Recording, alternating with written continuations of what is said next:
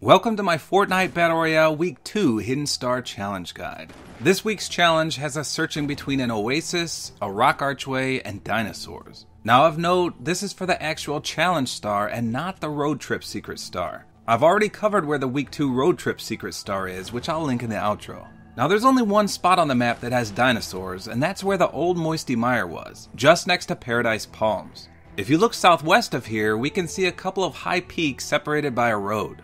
The peak we're aiming for is third from the left north of this road, which is right here on the map. Now there's two issues here. First is that the elimination challenge is in Paradise Palms, which means this area is going to be more jam packed than ever. Second, this star is on a very narrow ledge and there's no weapon spawns nearby so be prepared to get pickaxed into oblivion. I tried landing on the top of the mountain peak itself, but I could never find a weapon spawn here, and I must have landed here at least six times. So if one does spawn, someone let me know in the comments. Now, if you land on top at this peak, slide down on the northeast side and you'll see a rock formation as well as two cactuses. This is where you'll find the star. And here's the precise location on the minimap. Now, just of note, this area does not count as getting kills in Paradise Palms. It's too far away.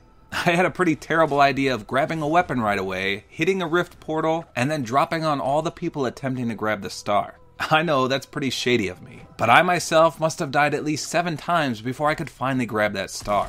Regardless, it doesn't work, so don't get your hopes up. Now, if you're needing assistance with the Week 2 road trip hidden star, feel free to check out that video in the outro.